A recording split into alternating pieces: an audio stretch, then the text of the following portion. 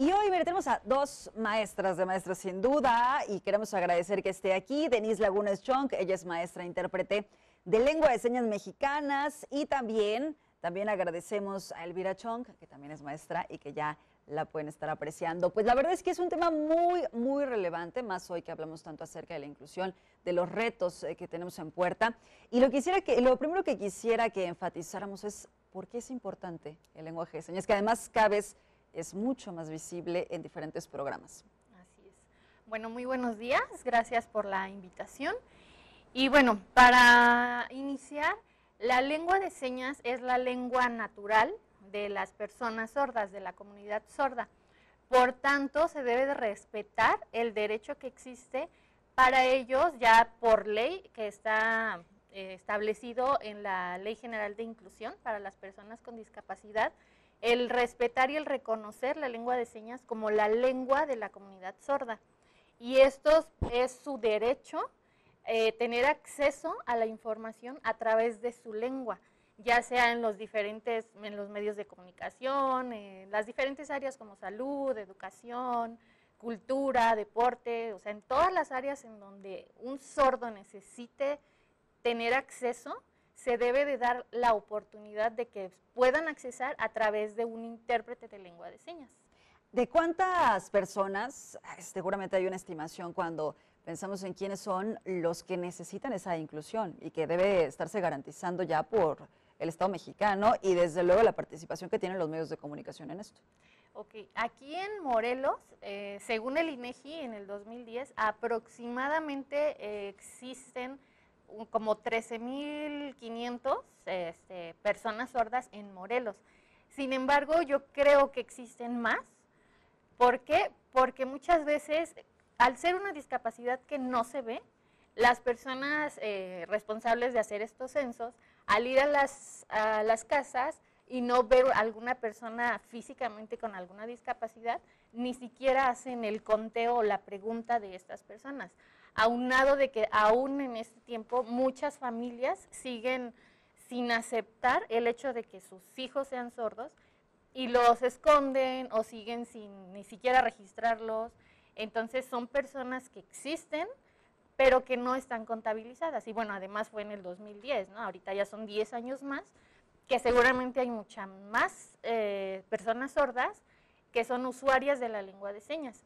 Igual hay muchos que puede que no utilicen la lengua de señas tal cual, porque hay sordos que son ah, hablantes o hay sordos que no han tenido ese acceso precisamente por la falta de apoyo en la familia, que es por desconocimiento, que no se les permite tener el acceso a su lengua.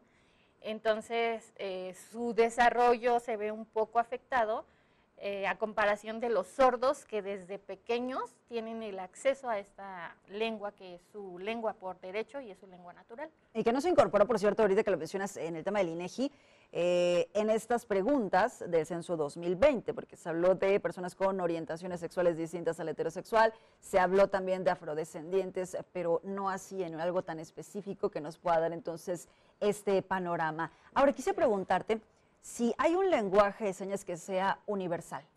No. La lengua de señas, este, bueno, esa es diferencia, ¿no? No es lenguaje de señas, es lengua, de, señas. Este, aquí en México es la lengua de señas mexicana, es la LSM.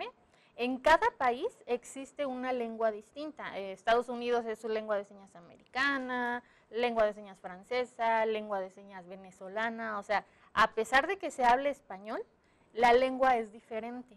Entonces es imposible este, que, que exista una lengua de señas universal porque cada país tiene su propia lengua. Eh, igual un caso que pasó hace poco que inició lo de la pandemia, eh, con los programas de la SEP que contaron algunos al principio con intérpretes, pasaron un programa en donde dijeron, ah, pues tiene intérprete, ahí está para los niños. Pero ¿qué pasó? Que la comunidad sorda y los intérpretes y todos los que conocemos esta lengua, nos dimos cuenta que el programa era argentino entonces la lengua de señas con la que estaban transmitiendo esa información era argentina. Entonces no, eso no para los sordos mexicanos, o sea como que, ¿qué onda, no? No se puede entender, sin no, duda. o sea, Porque sí, es otro, entonces. Es otro, o sea, sí puede que medio se entienda, pero no, o sea, cada país tiene su propia lengua. Y eso es muy importante porque además estamos ya próximos a que el lunes inicie el ciclo escolar y se tiene que contar eh, Sí. también con, con las personas idóneas. ¿Cómo se preparan? Pues mira, eh, ahorita este, hay, ha habido, desgraciadamente, precisamente por la pandemia, muchos cursos en línea de lengua de señas mexicana, ¿no? Sin embargo, las personas que los están dando no están realmente preparadas porque no conocen bien la lengua. Puede que yo fui a un curso, aprendí un poco de vocabulario y digo, ah, ya sé, ahora yo quiero ah, enseñarlo. Pero muchas veces no, o sea, no lo aprenden correctamente, lo enseñan mal y las personas siguen aprendiendo la lengua, pero se va distorsionando como es. Y luego llega a pasar, ¿no? Que dices, ah, ya aprendí señas, ya fui a un curso y ahora ya puedo ser intérprete. Pero saber señas no es ser intérprete. Para ser intérprete necesitas, en primer lugar, estar en contacto directo con la comunidad sorda, que es con ellos con quienes vas a aprender realmente la lengua, porque es su lengua y ellos te están compartiendo todo esto. Además de su lengua, tienes que aprender de la cultura del sordo, o sea, no es nada más aprendo señas y, ya, puedo hacerlo, no. Tengo que aprender, obviamente, vocabulario en lengua de señas, tengo que conocer la gramática, porque no es la misma que el español. El español tenemos nuestro orden y hablamos este, como lo hacemos, ¿no? En la lengua de señas no. Entonces, un intérprete no es un traductor. Yo no puedo decir seña por palabra, porque estaría traduciendo literalmente el mensaje con la gramática del español y los sordos no lo comprenderían. Entonces, tengo que conocer la gramática de la lengua de señas, eh, la cultura del sordo, tengo que prepararme, o sea, no es nada más que tomé un curso de tres meses, tomé un curso de seis meses, no, o sea, tienes que estar en constante preparación. Aún los intérpretes que ya tenemos varios años, no es de que como ya tengo mucha experiencia, ya este, sé mucho, ya, con eso es suficiente. No, tengo que seguir en constante preparación, conocer de leyes, conocer la historia, conocer antecedentes y lo mismo de, este, no, hasta ahorita no había eh, una, como una carrera realmente así de quiero ser intérprete, ah, me meto a la universidad a estudiar esta carrera. No la había. Hace poco, bueno, hace cuatro años aproximadamente, aquí en Cuernavaca está la Universidad CUEG, en donde tiene la carrera de intérprete y traductor, nada más que es en tres idiomas, en inglés, francés y lengua de señas. Entonces, si alguien realmente quiere tener una carrera universitaria, está esa opción. O carreras afines, ¿no? O sea, lingüística, comunicación, educación, eh, que es mi caso, pero que realmente conozcas la lengua de señas y estar en contacto con la comunidad, eso es lo más importante. Empaparte sin duda de esas experiencias. Oye, y por ejemplo, en el caso de algunos eventos que se han dado, porque nos decías y es una referencia muy interesante lo que pasa con las clases que se están impartiendo entonces o que se impartieron hace unos meses y que fueron por televisión. Pero también vemos eh, que quizá en los lugares en donde más se puede practicar y existe ese vínculo para generar toda la información hacia las personas sordas, son las conferencias del presidente López Obrador. Pero ahí también, pues parece que ha habido algunos problemas. No Sí. siempre han sido las personas preparadas. Exactamente. Desgraciadamente, este, bueno, un punto bueno es que ya se está tomando en cuenta la comunidad sorda y en estas conferencias que son muy importantes por la pandemia y por todo lo que está sucediendo en el país, que pusieron a los intérpretes de lengua de señas.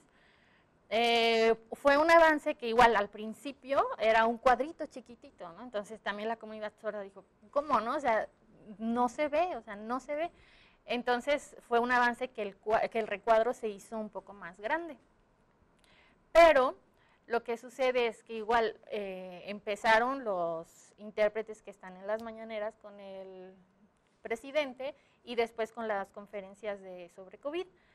Eh, pero desgraciadamente, bueno, el presidente ha hecho sus giras, este, igual le tocó venir a Morelos, en donde interpretó Elvira, que es mi mamá, este, y muy bien, ¿no? Pero ha habido eh, algunos estados, como hace poco, que fue lo que generó toda esta controversia, que fue en Baja California, Yucatán, eh, no, Yucatán no, Nayarit, o sea, en algunos estados que ahí como que dices, ¿no? O sea, si la culpa la tiene a lo mejor quien los llama o quien los busca o quien los contrata. Pero tú como intérprete tienes que tener esa ética profesional de decir, si yo no estoy preparada para realizar una interpretación de ese tipo, si no conozco el vocabulario, si no manejo bien la lengua de señas, decir no. O sea, porque en vez de ayudar, de que digas, ay, no, sí, yo voy porque este, quiero ayudar a los sordos a que entiendan, ¿no? Pero sale al revés, porque van y están dando una información tan mala, o sea, no se está dando la información, no sé si, yo creo que sí. es el mensaje distinto, entonces. Sí, o sea, totalmente distinto, este, cortado, es como si, no sé, por ejemplo, ahorita que estamos hablando y de repente se va el sonido y regresa y se va, entonces las personas oyentes, así como que, ¿qué? O sea, ya no me enteré de la información. Pasa eso con los sordos, pero la mayoría del tiempo, ¿no? O sea, que intérpretes que no están capacitados, que no tienen las cualidades para hacerlo, aceptan ese trabajo por X razón, ¿no? A lo mejor porque se les va a pagar o porque no hay, o porque no buscaron más, o porque las personas encargadas, pues como que, tú sabes señas y, ah, ahora le vas, ¿no? No se hizo el control de calidad, hay un desconocimiento también desde que se da entonces la contratación. Ajá, entonces digo, ahí sí están, eh, están en contra o faltando el derecho que tiene la comunidad sorda al acceso a la información, están afectando la labor de un intérprete profesional que sí está preparado, que sí está capacitado, porque hay muchos, hay muchos que quizá este, no son conocidos porque no están en el área de los medios de comunicación, pero en sus áreas como es la educación, en lo jurídico, o sea, hay diferentes áreas que hay intérpretes y son muy buenos y se debe de, reconocer ese,